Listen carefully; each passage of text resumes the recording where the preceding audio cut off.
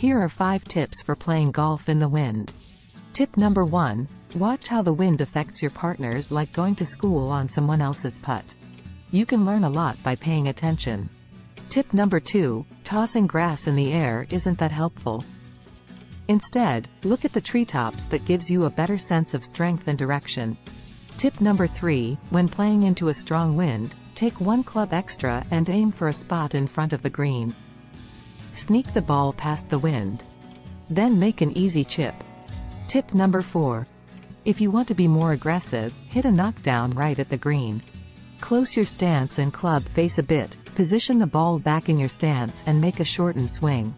But instead of taking one club, take two, one for the wind and one for your shortened swing. Tip number 5. Practice in the wind and the wind is blowing.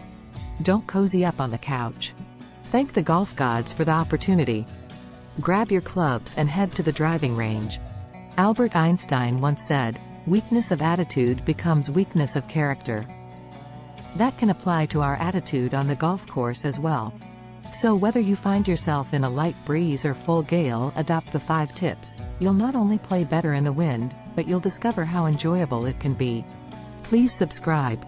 Please please, please. I give you a piece of candy?